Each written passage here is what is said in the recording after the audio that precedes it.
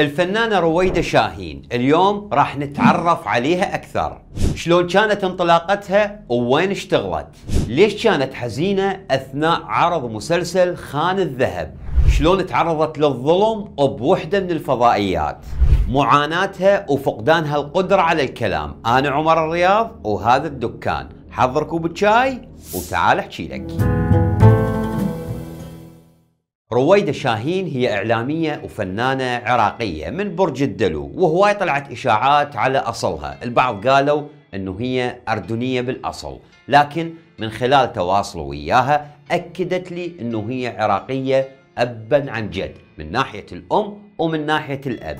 هي تعشق صوت الفنان التركي إبراهيم تاطلس بطفولتها كانت تقعد قدام المراية وتمثل ومن طفولتها كبر وياها حب التمثيل. لكن تأخرت انطلاقتها بالتمثيل بسبب دخولها بمجال الإعلام وانشغالها به رغم هي تستمتع أكثر بالتمثيل وتحس عالم وتغوص به هي عاشت بعمان ودرست بها فترة من حياتها وتنقلت بين الدول بمصر درست معهد إعلام ودرست معهد فنون ودرست تمثيل أيضا بمصر وبعدها عاشت بتركيا سنتين من عمرها. رويدة شاهين مثلت ببداية مسيرتها الفنية بعدة أعمال. كان من ضمنها مسلسل بدوي اسمه دموع القمر وأيضا مسلسل عطالة بطالة. وتقريبا سنة 2019 استقرت بالعراق بمدينة أربيل.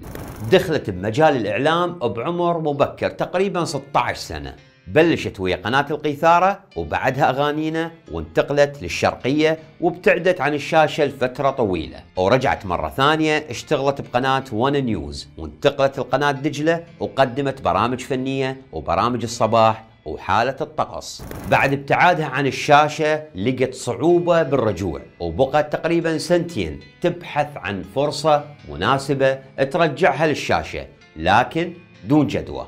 هواي أشخاص بحياتها أحبطوها وقالوا لها انتهى وقتك. مستحيل ترجعين مرة ثانية.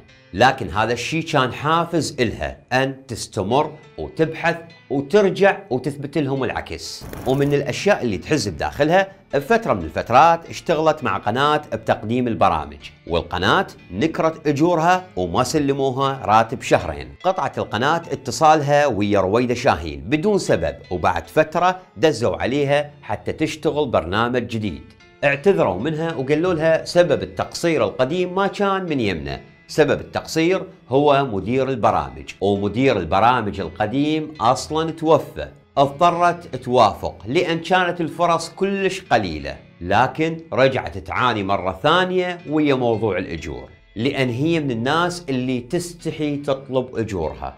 عرفوها الناس أكثر وأكثر بمسلسل خان الذهب. بالصدفة راحت تشارك ببرنامج عائلتي تربح والكادر اللي كان موجود بالقناة كانوا يبحثون عن بنت تناسبها شخصية حياة. فأول ما دخلت رويدة للقناة قالوا هي هاي حياة. رويدة شاهين بالبداية رفضت هذا العرض لأن كان عندها التزام ويا قناة أخرى وأيضا ويا شركة تسويق. كانت خايفة من التجربة وعايشة حالة قلق. خايفة أن الناس ما يتقبلوها بهذا العمل وخايفة ليكون كلام اللي أحبطوها صحيح وأنه هي فعلا راحت عليها الفرصة وما راح تنجح مرة ثانية. وبعد تفكير طويل قررت تترك كلام الناس وتترك كل شيء بأربيل وتتوجه لبغداد تصور المسلسل. أثناء تصوير المسلسل كانت نادرا ما تنام وتبقى تصور حوالي 20 ساعة. انتهى التصوير وانتهى التعب. طلع المسلسل ونجحت رويدة بدورها وحبوها الناس. لكن رويدة ما كانت فرحانة بالمسلسل وكانت محبطة. لأن بهاي الأثناء تعرضت المشكلة صحية بالغدد اللعابية. وصار صعب تقدر تحكي. وهذا الموضوع دخلها بدوامة من التفكير والقلق. لكن بعد كل هذا القلق والتفكير دخلت رويدة للمستشفى وخضعت العملية جراحية ونجحت العملية وتجاوزت هاي الأزمة. وهي اليوم مصرة أن تستمر بهذا العالم وأن تنجح أكثر وأكثر وتثبت لكل واحد حاول أن يحبطها أنه هي قادرة تنجح. هاي كانت بعض المحطات بحياة الفنانة والإعلامية رويدة شاهين واللي عنده معلومات أكثر يا ريت يذكرها إلنا. ونذكركم تابعونا على قناة سامراء الفضائية. وإذا كنت تشوفنا على الفيسبوك لا تنسى الإعجاب بالصفحة. وإذا كنت تشوفنا على اليوتيوب لا تنسى الاشتراك بالقناة. واسمحوا لنا نقفل الدكان ونشوفكم على خير.